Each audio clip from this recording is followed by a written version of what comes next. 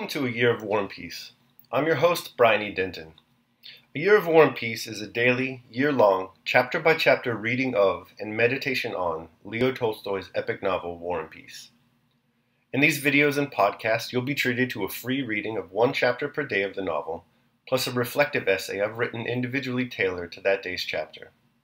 These readings are offered for free, though if you'd like to support me, you can do so in one of three ways. First, you could purchase my ebook, A Year of War and Peace. It features the entire novel plus all of my reflective essays, and it's only $2.99 on Amazon.com. You could also become a patron at patreon.com slash Brian E. Denton. If you sign up there, you'll receive a sonnet once a month, plus a link to an ebook of my collected sonnets.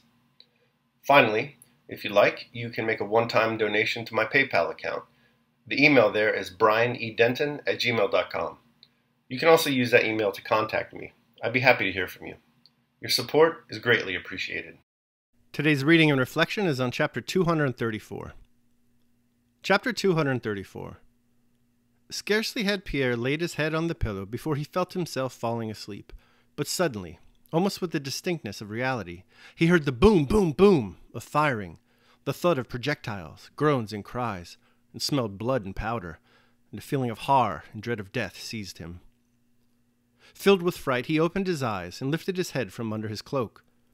All was tranquil in the yard. Only someone's orderly passed through the gateway, splashing through the mud, and talked to the innkeeper. Above Pierre's head, some pigeons, disturbed by the movement he had made in sitting up, fluttered under the dark roof of the penthouse. The whole courtyard was permeated by a strong, peaceful smell of stable yards, delightful to Pierre at that moment.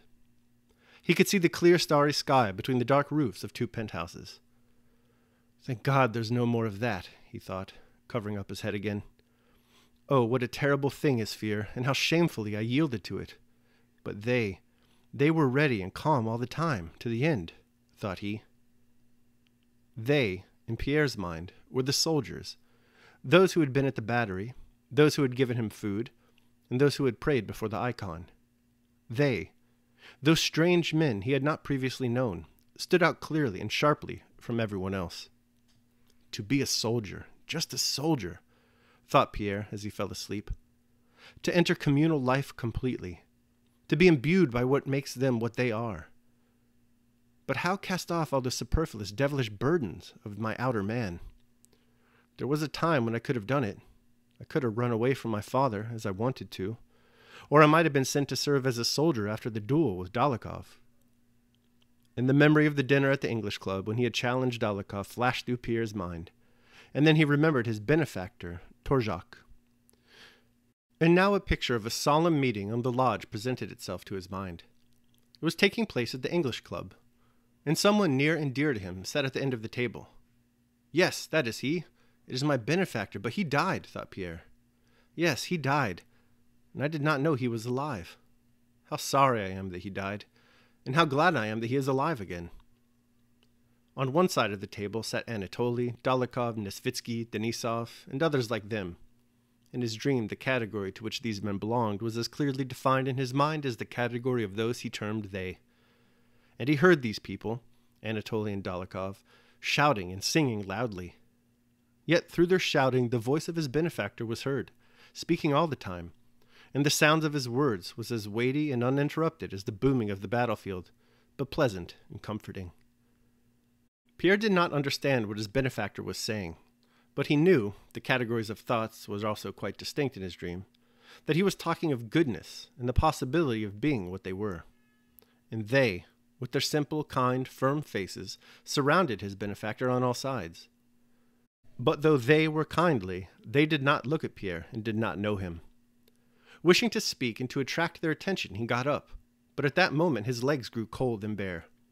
He felt ashamed, and with one arm covered his legs from which his cloak had in fact slipped. For a moment, as he was rearranging his cloak, Pierre opened his eyes and saw the same penthouse roofs, post, and yard. But now they were all bluish, lit up and glittering with frost or dew. It is dawn, thought Pierre. But that's not what I want. I want to hear and understand my benefactor's words. Again he covered himself up with his cloak, but now neither the lodge nor his benefactor was there. There were only thoughts clearly expressed in words, thoughts that someone was uttering or that he himself was formulating. Afterwards, when he recalled those thoughts, Pierre was convinced that someone outside himself had spoken them, though the impressions of that day had evoked them. He had never, it seemed to him, been able to think and express his thoughts like that when awake. To endure war is the most difficult subordination of man's freedom to the law of God, the voice had said. Simplicity is submission to the will of God. You cannot escape from Him. And they are all simple. They do not talk, but act. The spoken word is silver, but the unspoken is golden. Man can be master of nothing while he fears death, but he who does not fear it possesses all. If there were no suffering, man would not know his limitations, would not know himself. The hardest thing, Pierre went on thinking, or hearing, in his dream, is to be able in your soul to unite the meaning of all. To unite all? he asked himself.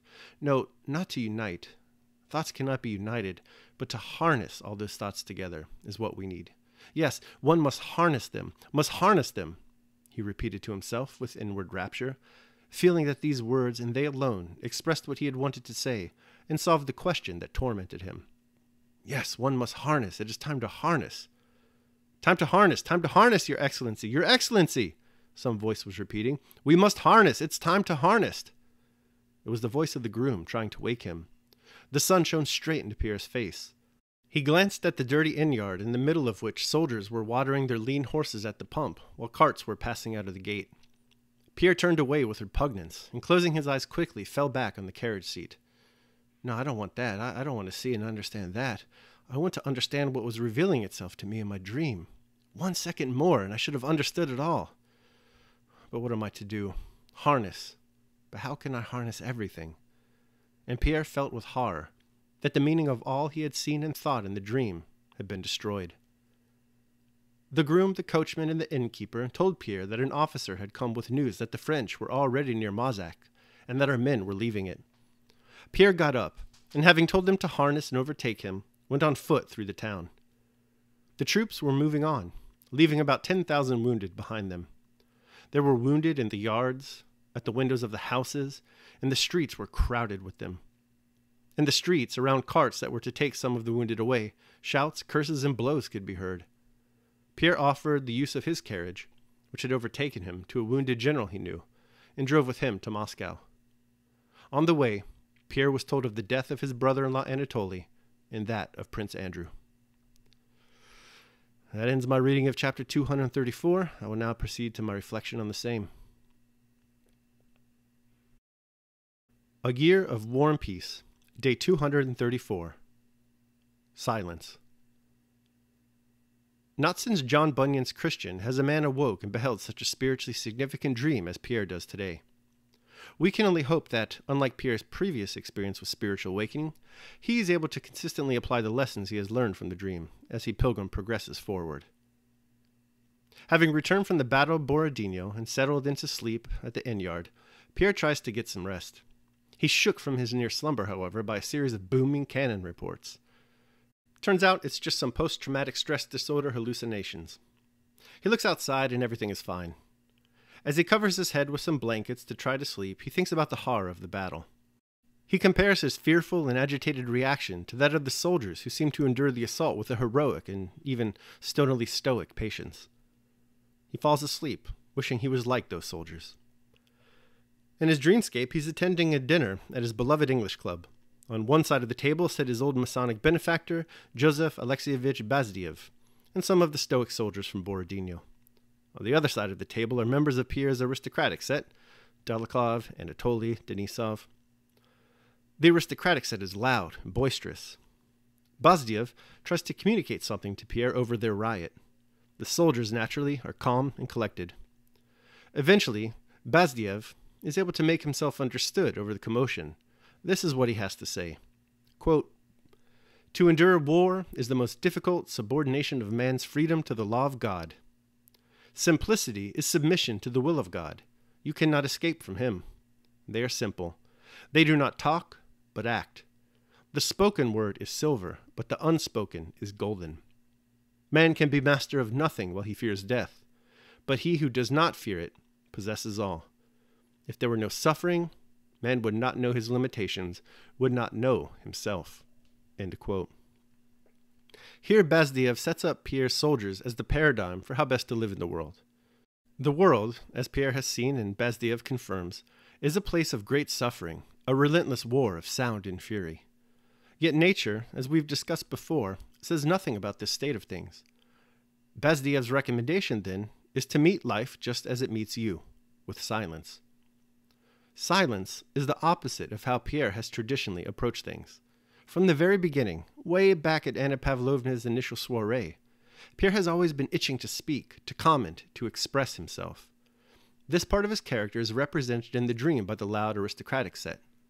A new life, that of the silent, stoic soldier, awaits him on the other side of the table, should he decide to follow in their path.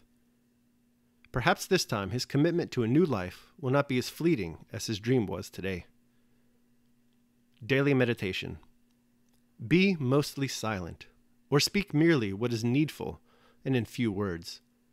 We may, however, enter sparingly into discourse sometimes, when occasion calls for it, but let it not run on any of the common subjects, as gladiators, the horse races, athletic champions, or food or drink, the vulgar topics of conversation, and especially not of men, so as neither to blame or praise or make comparisons. But if you are able, then, by your own conversation, bring over that of your company to proper subjects. But if you happen to find yourself among strangers, be silent. Epictetus Enchiridion. All right, and that concludes my reading of and reflection on chapter 234 of War and Peace. Hope you enjoyed it. Thanks so much for joining me. Remember that if you'd like to support me, you can do so either by purchasing the ebook, A Year of War and Peace, becoming a patron at patreon.com, or making a one time donation at PayPal. The links to all that are down below in the show notes. Tomorrow, we're going to be reading and reflecting on chapter 235. I hope you'll join me. Until then, take care of yourselves and others.